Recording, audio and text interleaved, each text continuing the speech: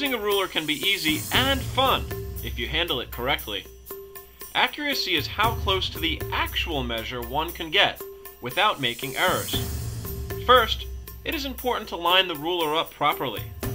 One mistake people make is to line the end of the ruler up with an object. This would make a person's measure inaccurate and smaller than it's supposed to be. Be sure to line the beginning of the scale on the ruler up with the object you are measuring. This ruler reads 7.6, but when the end of the ruler is aligned with the object, our measurement goes down to 7.4.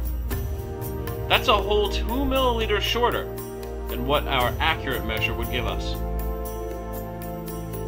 So be sure to align the zero mark of the ruler up on the object you're measuring. Viewing the ruler from directly above is also very important. Notice that if we view the ruler from the side, the zero mark doesn't even appear to be on the object, when it really is. Viewing the ruler from the other side, it looks like the zero mark is in on the object, even when it's actually lined up.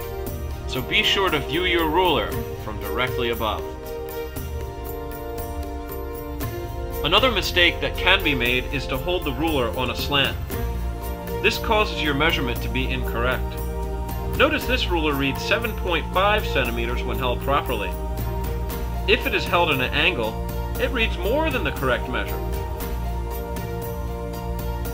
So, remember to line up your ruler properly, view it from directly above, and hold it straight on the object you're measuring.